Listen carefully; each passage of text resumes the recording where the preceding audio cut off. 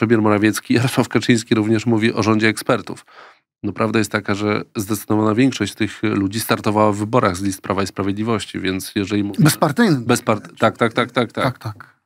Zdecydowana większość to są by- byli y, lub posło, posło, byli kandydaci PiSu lub posłowie PiSu, więc y, no tutaj o tej apolityczności, apartyjności y, zdecydowanie nie możemy mówić. Częściowo to jest na, pewno spłacanie długów jakichś, e, to znaczy no to są ludzie, którzy byli awansowani przez Morawieckiego często na przestrzeni ostatnich lat.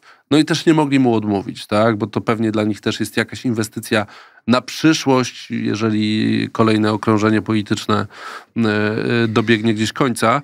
E, Więc myślę, że tak, myślę, że to o to chodzi. A poza tym, wiesz, no będziesz miał w tym CV wpis, byłeś ministrem konstytucyjnym, więc kto tam będzie dochodził, czy ile byłeś tym ministrem, czy to było dwa tygodnie, czy, czy trzy,